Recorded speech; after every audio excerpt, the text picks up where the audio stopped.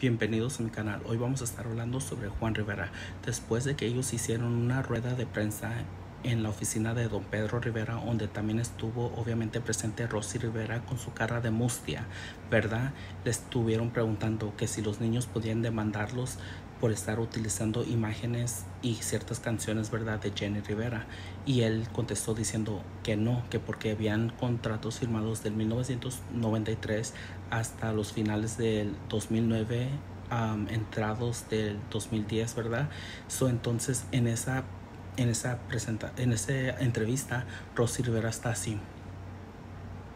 Así como muy proud, como muy arrogante, muy propotente, ¿verdad? Así como que sí, yo aquí soy, aquí digo y aquí, o sea, calm, calm down, cálmate, o sea, tú quién eres, ¿verdad?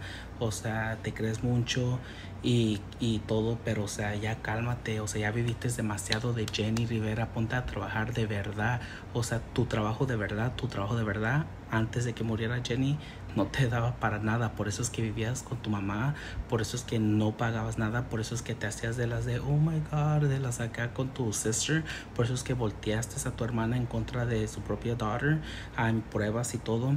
Por eso es que tu hermana te daba dinero, por eso es que te llevó a, vivir con ella, por eso es que te daba para las cirugías, ¿verdad?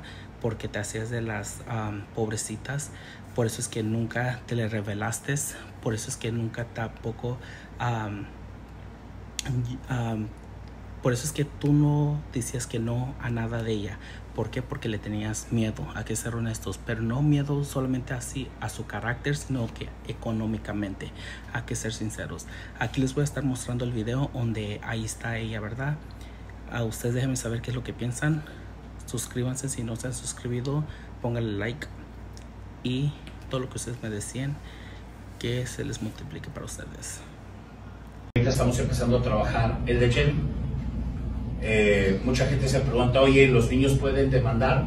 Mi papá es dueño de lo que él es dueño. De 1993 hasta finales del 2009, principios de 2010, eh, fue productor exclusivo de Jenny Rivera y es dueño de todo eso. Y ya estamos empezando a trabajar lo que a mi papá le pertenece, respetando lo que le pertenece a mi hermana y a mis sobrinos. Eh, no estamos utilizando ninguna imagen que no le pertenezca a Cintia Acuario, ninguna foto que no fue, eh, que, no tiene, que mi papá no tenga todos los derechos.